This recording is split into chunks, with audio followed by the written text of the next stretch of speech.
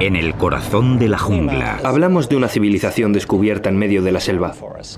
Se encuentran los misteriosos restos de una civilización que vivió en el continente durante más de mil años. Tenían atributos sobrenaturales. Eran los antiguos mayas. Sus líderes levantaron grandes ciudades con altísimas pirámides, lujosos palacios y verdes plazas. Eran los amos de su entorno. Tuvieron el ingenio suficiente para aprovechar la energía, crearon obras de arte y de ingeniería de una sofisticación sorprendente y consiguieron mantener esa civilización durante 1500 años. Pero tras generaciones de prosperidad e innovación, esta antigua civilización cayó y sus ciudades llenas de vida se convirtieron en pueblos fantasma dominados por la madre naturaleza. Siglos más tarde, las respuestas a los misterios que rodean a este pueblo grandioso y sus reyes divinizados nos cuentan una historia de conquista, ingenio y desastres.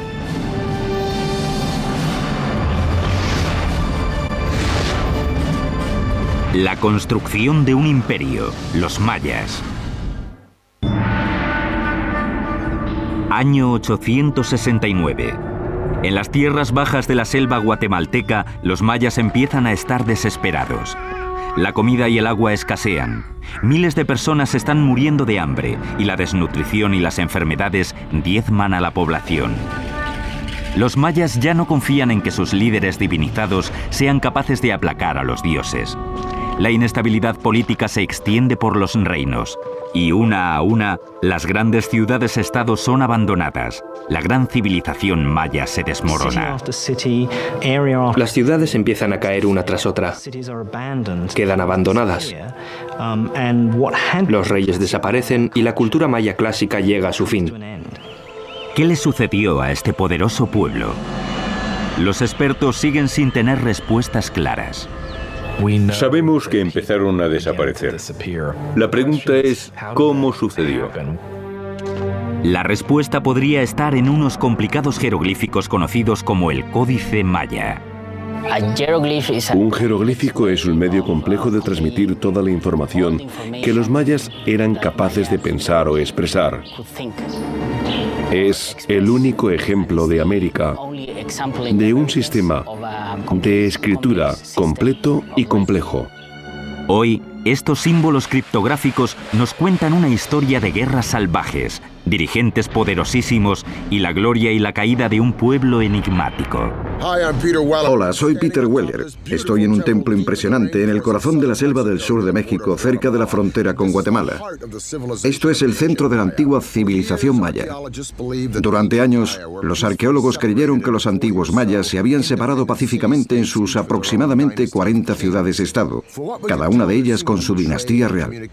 Por lo que sabíamos, al parecer se producía comercio entre ellas y comunicación, pero no se conocía ninguna agresión imperial motivada por el ansia de poder o de tierras fuera del territorio de cada rey.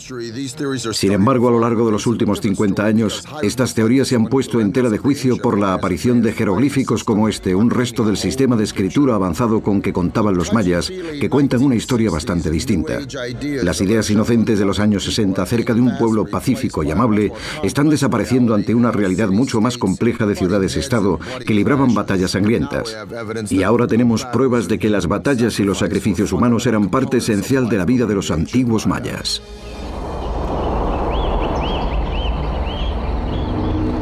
Pero la civilización maya no se convirtió en una compleja red de ciudades-estado de un día para otro. Los mayas aparecieron probablemente unos 2000 años antes de Cristo. En el año 500 a.C., la población aumentaba y las pequeñas comunidades se estaban convirtiendo en los primeros asentamientos mayas importantes en América Central. En el año 250 a.C. ya existían reinos organizados que dominaban la región, liderados por hombres poderosos. Tenían dirigentes poderosos. Competían entre sí y a veces esto llevaba a la guerra. Para los mayas eran guerras lideradas por sus reyes en nombre de los dioses. Los reyes de los mayas eran gente como nosotros, pero para ellos tenían atributos sobrenaturales. En ocasiones la devoción tenía consecuencias brutales y mortales. La gente tenía una deuda de sangre con los dioses, y no es que no tuviesen en gran estima la vida o la sangre humanas, todo lo contrario. La sangre y la vida humanas eran lo más valioso y lo más sagrado que se podía ofrecer a los dioses para pagar la deuda de sangre adquirida por la creación. El derramamiento de sangre y los sacrificios humanos dominaban la estrategia de los reyes. Elegían a sus aliados y atacaban a sus vecinos siempre pensando en aplacar a sus dioses y seguir siendo autónomos. A diferencia del caso de Roma, los mayas no eran un imperio, eran una serie de reinos rivales. En el siglo III después de Cristo, la civilización maya florecía. Ninguna de las ciudades consiguió dominar a las demás, pero sí había un centro de poder que destacaba. Se llamaba Tikal. Tikal es una de las pocas ciudades que destacaron en el periodo preclásico antes de Cristo y que después siguieron siendo fuertes hasta el final del periodo clásico. Es una ciudad que nunca decayó. Pero en el siglo VI, un nuevo poder, la ciudad de Calakmul, amenazó la prosperidad de Tikal. Los mayas tenían dos grandes capitales dinásticas, Calakmul y Tikal. Estas dos ciudades estaban enfrentadas. Al parecer, fue Calakmul la que empezó a establecer alianzas alrededor de Tikal, básicamente cercando a su enemigo. Fue un líder visionario y ambicioso quien creó un centro de poder militar capaz de derrotar a Calakmul. Se llamaba Yikin Khan Kawil. Construyó una de las estructuras más representativas de los mayas, una pirámide que resistió al paso del tiempo, el Templo del Gran Jaguar. Los monumentos más valiosos eran los que requerían mucho esfuerzo. Una gran pirámide era indicativa de poder, de fuerza, de prestigio. Era una forma de atraer a la gente a la ciudad porque demostraba que eras un líder poderoso. La construcción en un entorno semitropical con materiales rudimentarios suponía todo un reto, sobre todo cuando se pretendía construir en vertical con tecnologías de la edad de piedra. Los mayas desconocían casi todas las tecnologías que asociamos con las grandes construcciones de piedra. No tenían bestias de carga. No tenían herramientas de metal. Lo que sí tenían los mayas era un suministro casi ilimitado de piedra caliza maleable y mucha mano de obra. Tu trabajo era una de las cosas que tenías que ofrecer al rey cada año. Se extraían bloques de piedra caliza y se transportaban, se empujaban y se movían a base de fuerza bruta hasta el lugar de la construcción. Utilizaban una cosa que llamamos mecapal. Es una correa que se ponían en la frente y con eso transportaban a veces cientos de kilos de escombros. Un nivel tras otro, la pirámide se iba levantando. Se levantaban andamios de madera desde los que se trabajaba a medida que la estructura crecía. Los artesanos daban forma a la caliza con herramientas de piedra y mazos de madera. Aunque el interior estaba lleno de escombros, el exterior se pulía cuidadosamente. Se cubría con una fuerte argamasa conocida como estuco maya y se pintaba de rojo. Aunque conocían la rueda, aunque conocían el metal, decidieron no darles uso práctico. Y creo que en parte se debió a que según su visión del mundo, las cosas valían más si se hacían con mucho trabajo. Con casi 45 metros de altura, el templo del Gran Jaguar se alza hacia el oeste de cara al sol poniente. Este rascacielos de la antigüedad sin duda llamaba la atención de todos los que pisaban la gran plaza de Tikal como símbolo de poder y redención. Pero la maravilla construida por Jikin Kawil era solo el principio. En el año 736, Kawil venció a su rival más importante, Calakmul. Entonces, en los años 743 y 744, atacó y venció a dos importantes aliados de Calakmul que rodeaban Tikal, el Perú al oeste y Naranjo al este. Así consiguió romper el cerco que había amenazado con asfixiar a Tikal. Para celebrarlo, construyó varias ampliaciones del palacio, nuevas pirámides. La de Tikal, que vemos hoy, es en gran parte fruto de aquellas victorias. Es posible que incluso pusiera en marcha la construcción de la estructura más alta de Tikal, el Templo Cuarto. Esta inmensa pirámide, construida con 190.000 metros cúbicos de piedra, tenía más de 64 metros de altura o 22 pisos, casi tanto como las torres del puente de Brooklyn. Sobresalía por encima de la bóveda de la selva y permitía tener una visión de 180 grados de la ciudad. A lo lejos, otras ciudades mayas construían ambiciosas estructuras. Pero en aquel momento, con el rey Jiquín Cancagüil en el poder, Tikal era el centro indiscutible de la civilización maya. Aunque la ciudad no era la única. Lejos de allí, a unos 400 kilómetros al oeste, otra dinastía se dedicaba a levantar una gran acrópolis. Allí, en el siglo VII, surgió un ambicioso rey que convirtió una de las ciudades más húmedas del mundo en la meca de la arquitectura del Nuevo Mundo.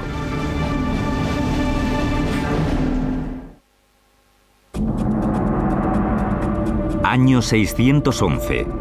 En los límites del mundo maya, al sudeste de México, una ciudad llamada Palenque está contra las cuerdas. Intentan defenderse a la desesperada de las fuerzas de Calakmul, la misma ciudad que había derrotado a Tikal en el año 562. Las fuerzas de Palenque son derrotadas y el rey muere sin heredero. Los reyes mayas se consideraban divinos, por lo que su linaje era clave para la supervivencia. El fin de una dinastía solía traer la desgracia. Sin embargo, en ese momento crítico estaba a punto de empezar una de las campañas de construcción más importantes de la historia maya, en Palenque. Y el rey que la impulsó fue un desconocido hasta mediados del siglo XX. En 1949 se respondieron algunas de las preguntas sobre la misteriosa dinastía de Palenque, cuando el arqueólogo Alberto Ruiz Luillier realizó excavaciones en este templo de 22 metros de altura, el que ahora conocemos como Templo de las Inscripciones. Yo no estoy en mala forma, pero ellos subían con tocados y túnicas, cuchillos y espadas de obsidiana. Yo creía que estaba en buena forma, al menos para mi edad pero no sé cómo conseguían subir ellos, ni cómo lo consiguió Alberto Ruiz. Aunque me quedan muchos escalones. Al llegar a este santuario, miró alrededor y vio esto. Una serie de agujeros en el suelo, tapados con piedras, y supuso que de ellas colgaban cuerdas que servían para levantar una losa, como una trampilla. Tiró de ella, levantó esto y bajó por una escalera empinada, llena de polvo y de escombros. Nunca antes había visto una pirámide maya como esta. Así que sus hombres se pusieron a cavar y cavar y cavar hacia lo desconocido.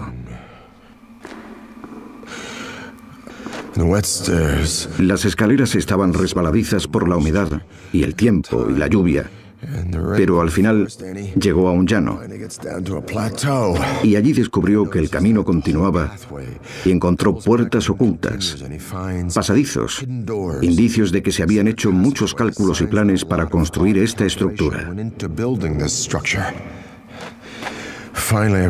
Por fin, tres largos años después, llegó hasta el fondo de esta escalera de 25 metros y allí encontró un pequeño pasillo en el que había una caja de piedra y dentro de ella seis esqueletos, los restos de personas que habían sido sacrificadas para proteger a la persona para la que se construyó este templo.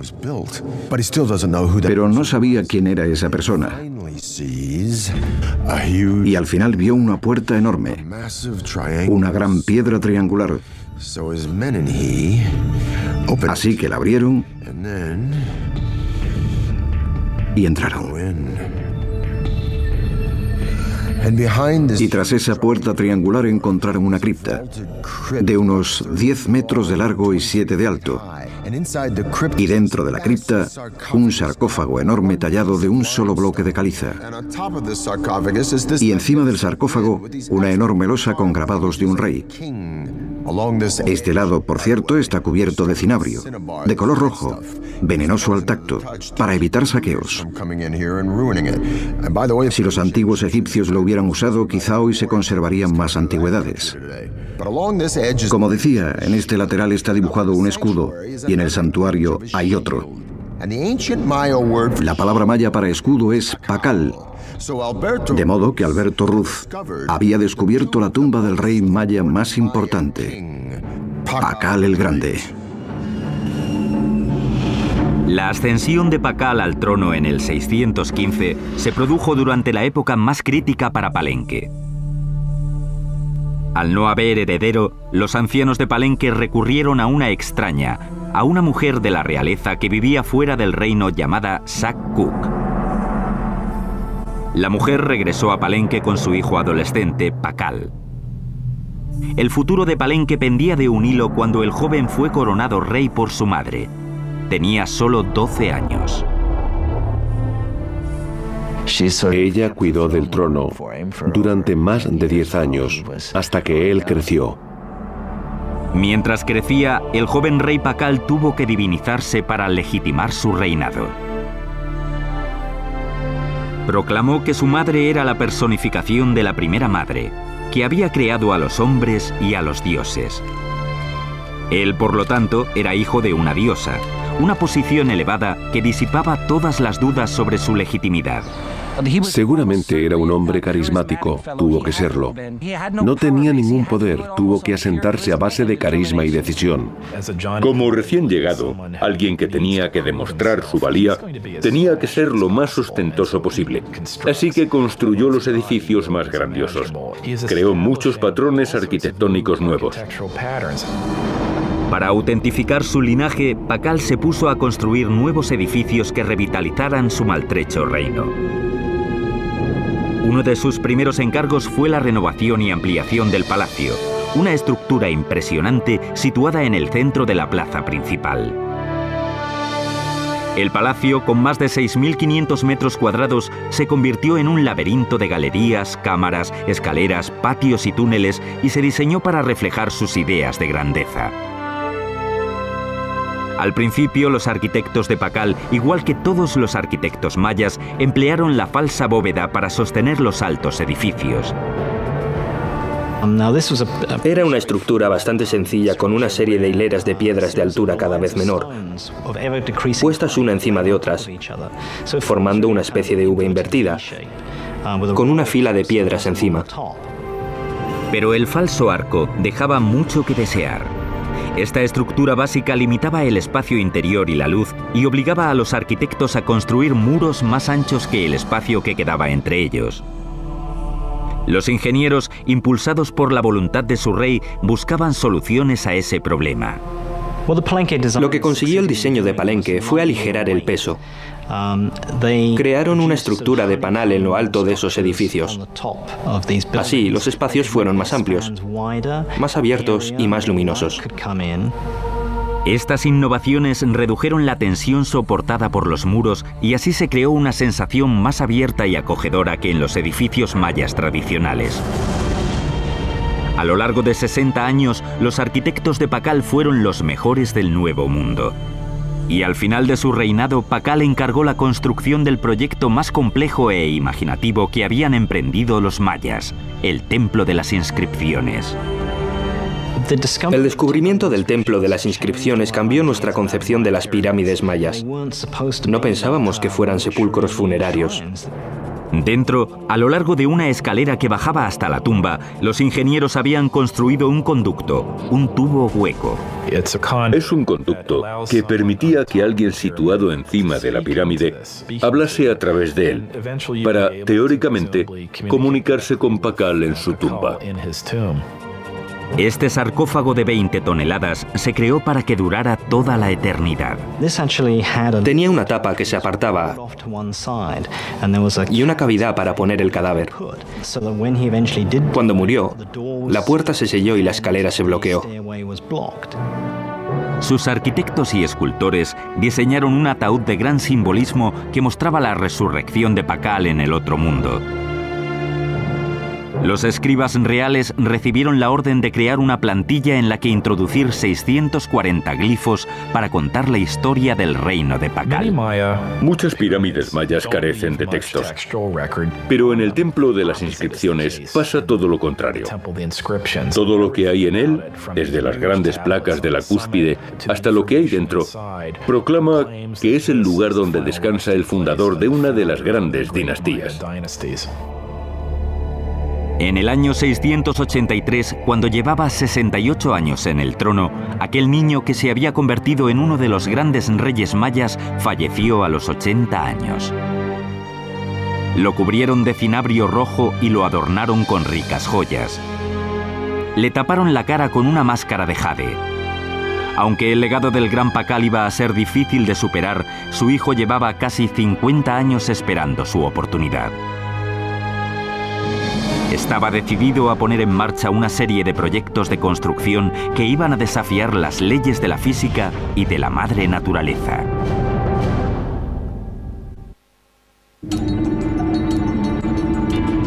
Año 684. El poderoso rey Pacal ha convertido Palenque en una de las capitales mayas más grandiosas de la historia. Tras 68 años en el trono, fue enterrado en una tumba que podría rivalizar con las de los faraones egipcios.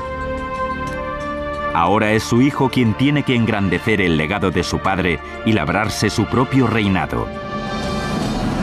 Se llamaba Kambalam.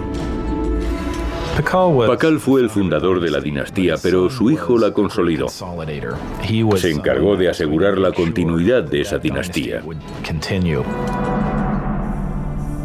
El rey, de 48 años, emprendió inmediatamente la construcción de un complejo de tres pirámides que sería su legado a la historia. Diseñó y construyó el Grupo de la Cruz, uno de los grupos de templos ceremoniales más hermosos y complejos del mundo maya. Son sus monumentos conmemorativos más altos que el palacio. Incluso en algunos aspectos superan las obras de su padre. Creo que representan una voluntad de asentar su individualidad, de dejar su huella en la ciudad como había hecho su padre. Encargó a sus ingenieros que levantaran tres estructuras. El Templo de la Cruz, el Templo de la Cruz foliada y el Templo del Sol. Los ingenieros de Kambalam dieron un grandísimo paso adelante gracias al uso de unos sofisticados cálculos geométricos sin parangón basados en el sistema numérico creado por los mayas.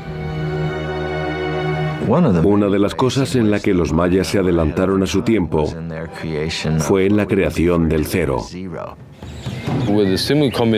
Solo con la combinación de una concha que representaba el cero y un punto, el número 1 y el 5, con solo eso, en distintas posiciones, consiguieron multiplicar y llegar a cifras muy elevadas. Los griegos y los romanos fueron grandísimos ingenieros, teólogos, historiadores y demás, pero su sistema matemático los limitaba mucho porque no tenía cero. Lo irónico es que fueron capaces de hacer grandes obras públicas y filosofía y todo eso, pero comparados con los mayas eran malos en matemáticas. Las matemáticas avanzadas de los ingenieros de Kambalam podrían haber incluido el descubrimiento de proporciones como la raíz cuadrada de los rectángulos y algo llamado el número áureo, una proporción natural que se da en los animales, la naturaleza e incluso el cuerpo humano, como la relación de 1 a 1,618. Si mides la distancia de la cabeza al ombligo y del ombligo a los pies, la proporción es muy cercana a 1,618, la divina proporción. Algunos expertos creen que esta proporción lleva miles de años apareciendo en construcciones en lugares como las pirámides de Giza en Egipto o el Partenón de Atenas. El hombre de Vitruvio de Da Vinci es un estudio de esa proporción. E incluso hay quien dice que pintó a la Mona Lisa basándose en ella. Con poco más que palos y una cuerda, los ingenieros de Cambalam pudieron haber medido la raíz cuadrada de un rectángulo. En el Templo de la Cruz, esas formas se habrían usado para marcar los dos pilares principales de la fachada, el ancho del pórtico intermedio y las paredes interiores. El número áureo aparece en las cámaras traseras y en la base de la estructura, en la que el largo sería 1 y el ancho 1,618. Mediante cuadrados repartidos y proporciones naturales se fue formando la hermosa planta del Templo de la Cruz, llena de geometría, mitología y del legado de un rey. Pero no toda la ingeniería de Palenque se hacía con vistas a la vida del más allá. Los ingenieros de Palenque también tuvieron que ocuparse de necesidades más prácticas. Uno de los nombres de Palenque es la Camjá, que significa lugar de grandes aguas. Hay cuatro ríos que cruzan Palenque, docenas de arroyos, hay agua por todas partes. Esta riqueza llegó a ser un problema, Palenque estaba rodeada de colinas bastante altas, riachuelos y arroyos que se abrían paso por el lugar, dejando solo pequeñas zonas de tierra llana y seca donde construir. El problema de Palenque es el opuesto al de la mayoría de las ciudades mayas. No tenían que almacenar agua para la estación seca, sino luchar contra el exceso de agua. Como verán, todo está verde. Aquí llueve a diario. Los arquitectos idearon un método para desviar los arroyos, mediante acueductos subterráneos que canalizaban el agua bajo tierra, para tener así más tierras de cultivo. Estos túneles estaban cubiertos de caliza y tapados con nuestro viejo conocido griego y egipcio, el arco falso, una serie de piedras salientes puestas unas encima de las otras para formar una especie de arco. Estas techumbres eran tan resistentes que soportaban el peso de las grandes plazas de Palenque, que estaban encima.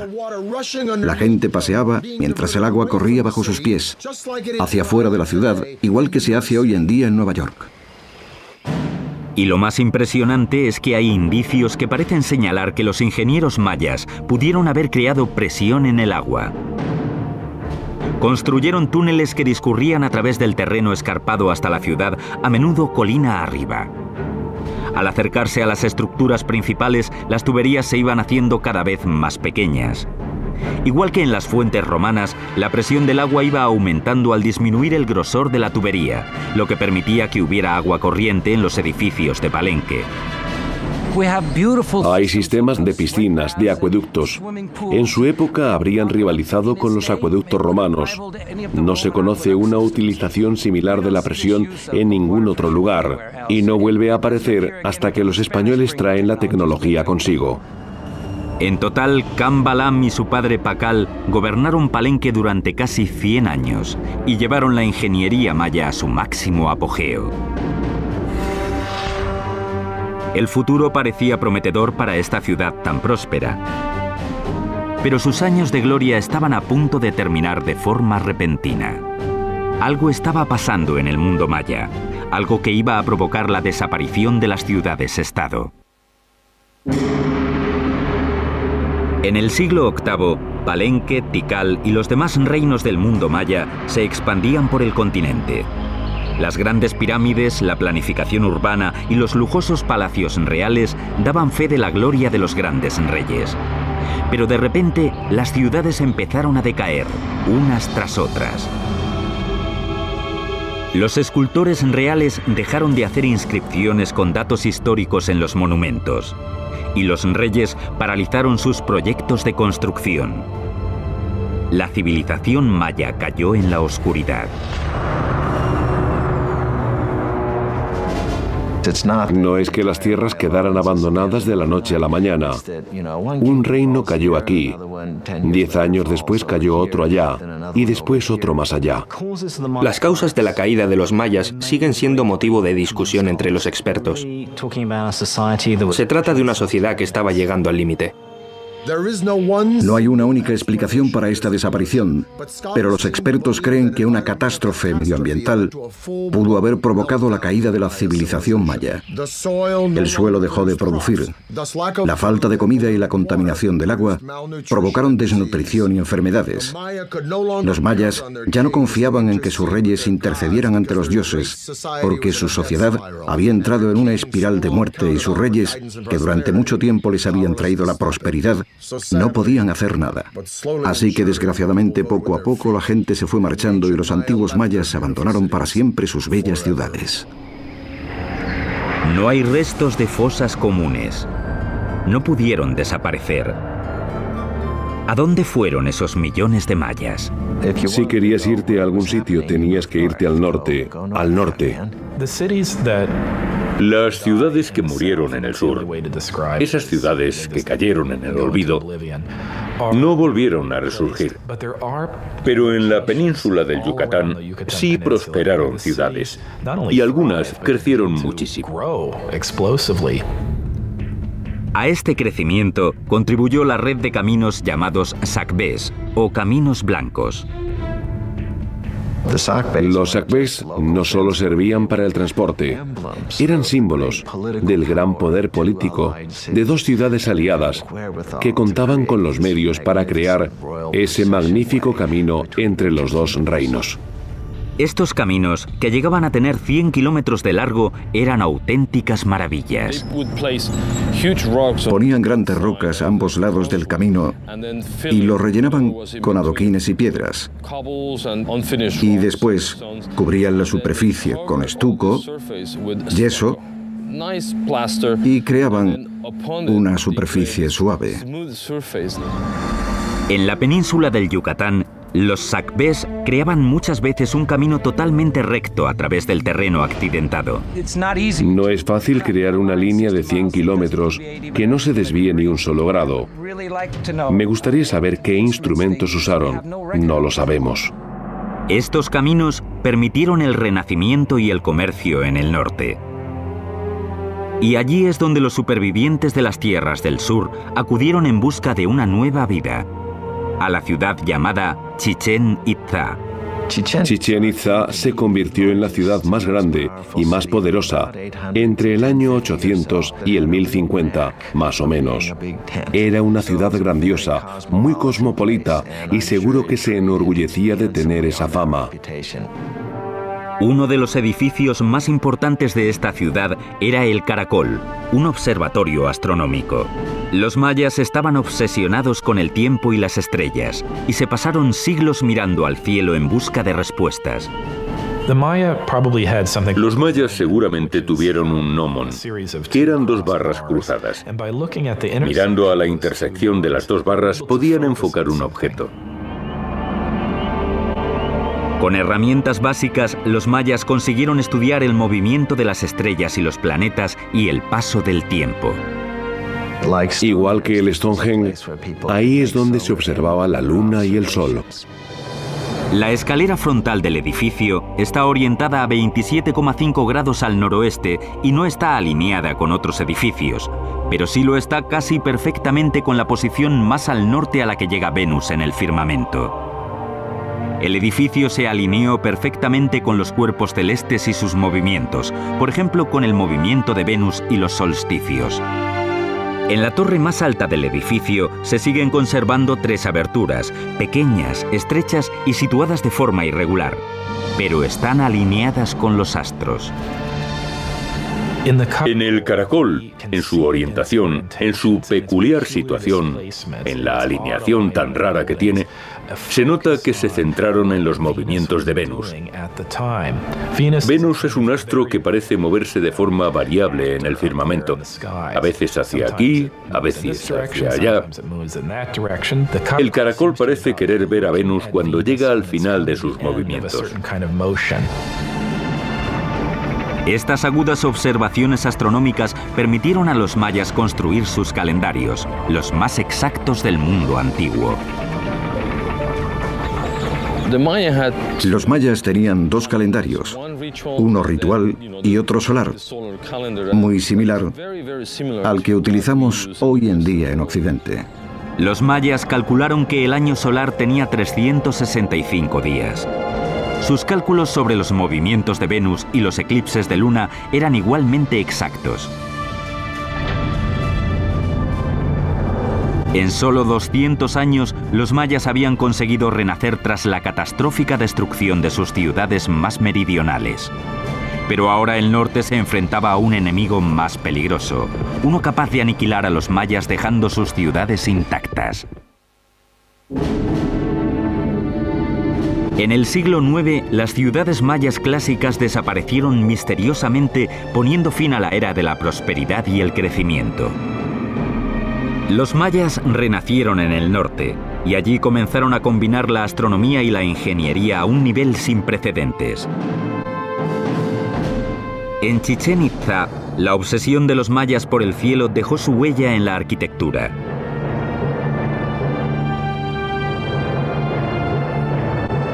La piedra angular de Chichen Itza era el castillo, un edificio de 30 metros construido en el siglo IX o X. Sus 365 escalones equivalen a los días del calendario maya civil. Los 52 paneles de cada lado representaban los ciclos mayas de 52 años. Los nueve niveles escalonados representaban los 18 meses del calendario solar maya y el eje del templo estaba situado estratégicamente de forma que dos veces al año el templo proyectara una sombra concreta. Un maya que mirase hacia el sector noroeste del castillo vería una balaustrada y una combinación de sombras y luz en esa parte, justo antes de la puesta de sol. Se formaban varios triángulos de luz. Al final de la balaustrada había una cabeza de serpiente tallada, una serpiente que bajaba de los cielos, que indicaba la llegada de la estación de las lluvias. Para los mayas, este fenómeno era la manifestación de la deidad Kukulcán, la serpiente emplumada. Los mayas consiguieron localizar los equinoccios, el día del año en el que el día y la noche duran lo mismo. Todos los años, el 21 de marzo, se ve descender a Kukulcán.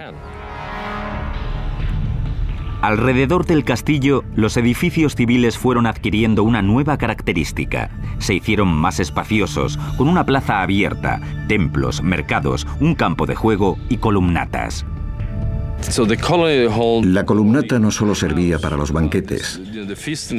Es posible que también pudiera entrar la gente normal, según cual fuera la celebración, para ser testigos de la llegada de los comerciantes, los mercaderes.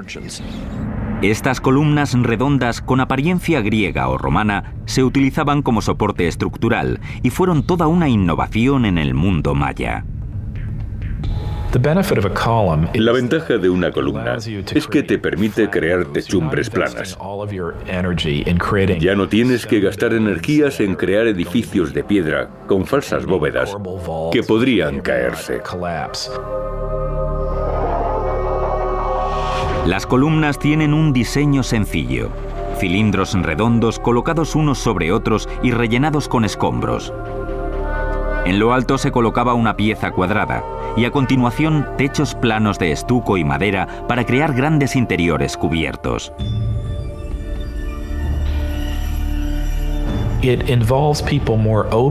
Permite que la gente participe más en la vida del edificio y en lo que ocurre en su interior.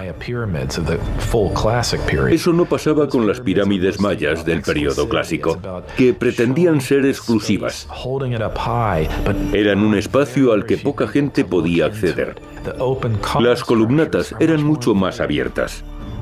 Pero la atmósfera acogedora no duró mucho.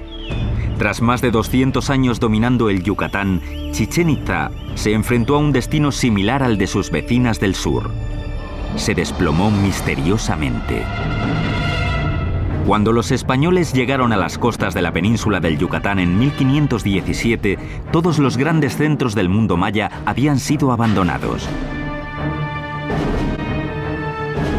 Sin embargo, los restos de la civilización maya seguían viviendo en pequeñas aldeas y opusieron una dura resistencia a los conquistadores. Fue difícil conquistarlos, porque en lugar de capturar a un rey o a un emperador, como en el caso de los aztecas, tuvieron que ir conquistando cada pequeña aldea. Y cuando avanzaban hacia la siguiente, había una por detrás que se rebelaba. Los guerreros mayas mataron a miles de conquistadores, pero sus armas resultaron inútiles ante el más poderoso enemigo, la enfermedad. En solo 100 años, el 90% de los habitantes del Nuevo Mundo habían muerto. Los mayas supervivientes fueron perseguidos. Fray Diego de Landa había llegado desde España para convertir a los mayas al cristianismo e imponía sus enseñanzas religiosas por la fuerza. Diego de Landa era un joven idealista que llegó al Nuevo Mundo con la intención de salvar almas, de ganar conversos, para la que él consideraba la única fe verdadera. Pero los mayas no querían renunciar a sus creencias y más. El 12 de julio de 1562, Landa emitió un auto de fe ordenando que se quemaran los textos mayas a los que consideraba palabras del demonio. Fue el final de miles de años de conocimientos de la civilización maya, una de las grandes tragedias de la historia de la humanidad. Por suerte, cuatro códices sobrevivieron a ese infierno y al paso del tiempo. En el siglo XIX, algunos de esos libros que habían escapado a las garras de esos frailes y a sus ansias destructivas empezaron a llamar la atención. Hoy, su supervivencia es un misterio más de la compleja historia de los mayas. Que fueran capaces de conservar una civilización urbana en la selva durante 1500 años, frente a retos logísticos y de toda índole, es algo que debemos admirar y de lo que podemos aprender mucho. Si los mayas miraban al cielo desde la tierra buscando guía, ahora nosotros miramos a la tierra desde el cielo en busca de respuestas. Desde hace unos años, la NASA y la Universidad de New Hampshire experimentan con tecnologías de sensores remotos para intentar localizar ciudades todavía sin descubrir. Los montones de tierra cubiertos de árboles que aparecen en las lecturas podrían ser ruinas de antiguas ciudades, intactas desde hace siglos. Las respuestas a los misterios mayas podrían estar bajo nuestros pies. La arqueología maya aún está dando sus primeros pasos. Hay incontables ciudades, templos o asentamientos que aún no hemos excavado ni estudiado. Creo que estamos llegando a la edad dorada de la arqueología maya y creo que durante este siglo se convertirá en una de las civilizaciones antiguas mejor comprendidas. Sabemos que los mayas eran un pueblo innovador y creador, con una especial inclinación hacia la violencia. Pero, ¿cuál es el gran atractivo de los mayas? Porque generación tras generación nos hemos sentido atraídos por esa civilización tan sofisticada por su arquitectura, con sus palacios y templos tranquilos, o por sus intrincados jeroglíficos y su sistema de escritura, o será por sus grandes conocimientos de astronomía y matemáticas, con el concepto del cero sin igual en la antigüedad, o simplemente porque este gran pueblo levantó ciudades enteras, no solo aldeas o pueblos, sino magníficas ciudades, en medio de uno de los entornos menos hospitalarios del mundo. En las selvas que se encuentran entre Honduras y el Yucatán, hay literalmente cientos y cientos de asentamientos mayas intactos. Solo en Palenque existen 1.500 edificios en los que no se han realizado excavaciones, entre ellos templos más grandes que ese. Y si tenemos en cuenta los tesoros que todavía están por encontrar en ciudades como Tikal y Chichen Itza, creo y seguro que no soy el único, que el atractivo de los mayas, la verdadera magia y el misticismo de esa civilización se encuentran los misterios que todavía siguen ocultos en el corazón de la selva. Peter Weller para el canal Historia.